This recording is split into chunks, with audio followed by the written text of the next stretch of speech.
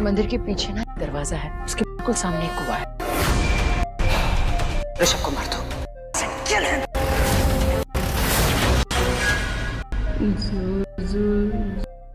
ऋषभ की असली माँ आई प्रथा के सामने। सीमा ने किया है ऋषभ की असली माँ को कैद।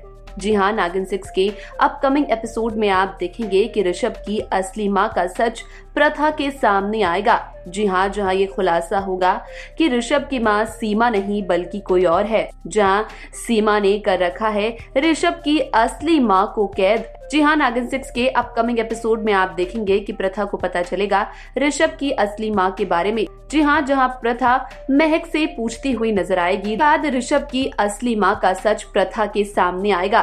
जहाँ प्रथा को पता चल जाएगा कि सीमा ने ऋषभ की असली माँ को कैद में रख रखा है। जी हाँ जहाँ आने वाले एपिसोड में देखना दिलचस्प होगा कि जब प्रथा सीमा को इस बारे में बताएगी तो उसका क्या रिएक्शन होता है? वाला आपका क्या कहना है? इस पूरी अपडेट पर हमें कमेंट सेक्शन में ज़रूर बताइएगा। और इसी तरह की खबरों के लिए हमारे चैनल को सब्सक्राइब करना ना भूलें।